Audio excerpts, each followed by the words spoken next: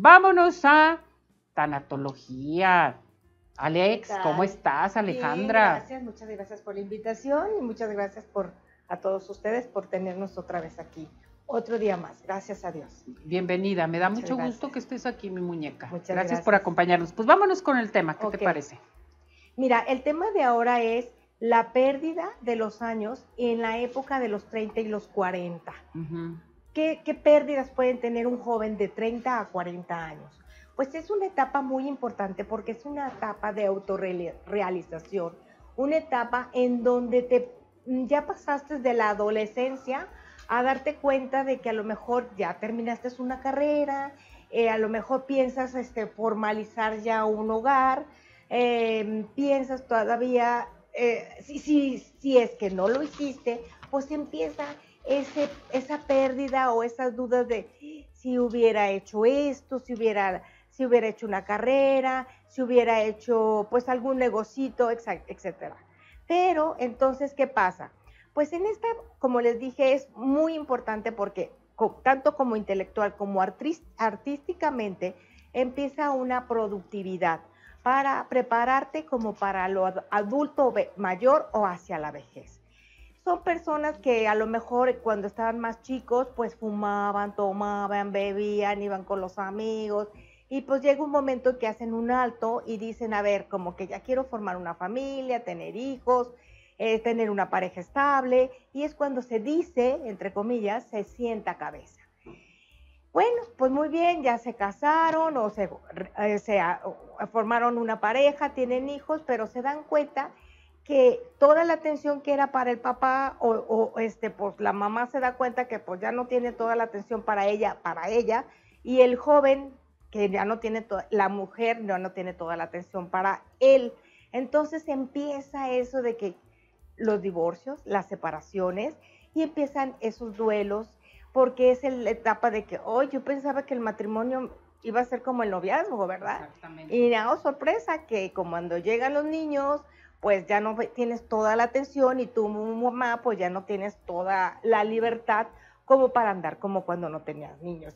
Y es cuando empiezan entonces las rupturas eh, matrimoniales o las rupturas de pareja y son los duelos, pues que ya los hemos nombrado aquí, que son las separaciones, divorcios y a veces son frustraciones, depresiones, porque yo me esperaba o porque yo me casé pensando que se le iba a quitar lo tomador, lo borracho, lo esto, lo otro. Entonces, dicen que la segunda educación es cuando te casas, pero cuesta, es difícil. Es difícil. Muy difícil el cambio. Esto serviría también para aquellos jóvenes que tienen duelos, que duraron mucho tiempo de noviazgo, también en un momento dado que duraron 5, 10 años. Sí. qué barbaridad y que de repente... Sí, y dicen, ¿cómo me la cambiaron? No es que te la cambiaron, sino que cambiaron las circunstancias. Este, porque yo toda la atención que se tenían mutuamente o toda la libertad que se tenían mutuamente, pues a la llegada de los hijos, pues los hijos mm, es una etapa muy bonita y quiero que la sepan, jóvenes, que es una etapa que por favor está corta, que tengan, tienen que valorarla y por favor esa etapa gócenlo entre las parejas, ¿por qué no? ¿Por qué no en vez de estar ya no me pone atención, ya no puedo ir al gimnasio, ya no puedo el cafecito, es una etapa en donde busquen entre parejas este, estar conviviendo eh, con los hijos y no sentirse frustrados. Eso es muy importante, porque aquí entra la angustia, la frustración, la desesperación y dicen, ¿y ahora qué? ¿Con quién me casé? ¿Qué voy a hacer? Y por cualquier cosita, ya no, ya no me gustó, me voy. Acuérdense que es una etapa muy chiquita la crianza de los hijos. Y recuerden que de los seis, de los cero a los seis años, es la que papá y mamá les va a dar sobre todo la autoestima y la fortaleza para esos niños. Ya tendrán chance de divertirse como pareja, pero esa etapa es muy importante.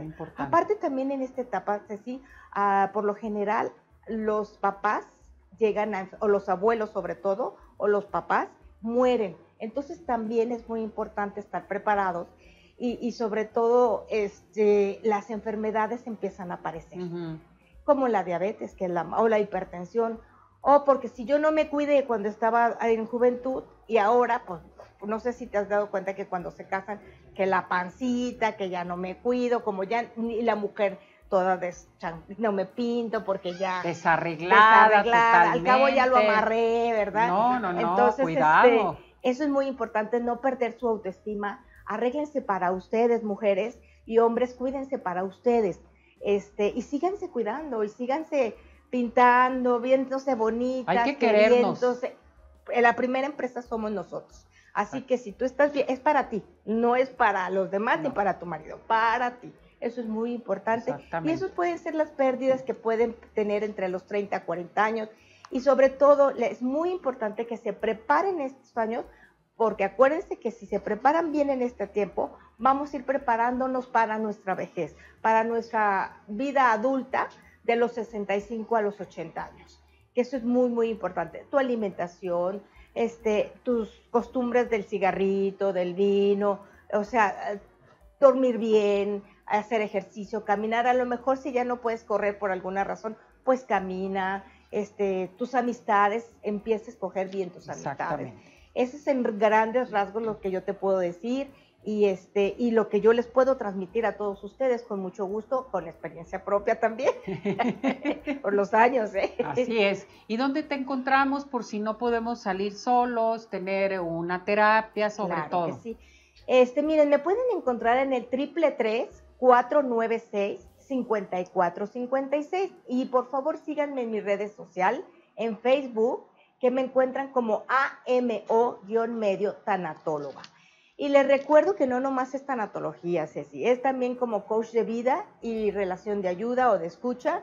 Estoy para ustedes también. Perfecto, muchas gracias. No, pues gracias. Que te vaya muy bien. Muchas gracias a ti y gracias a todos. Saludos a la familia, gracias.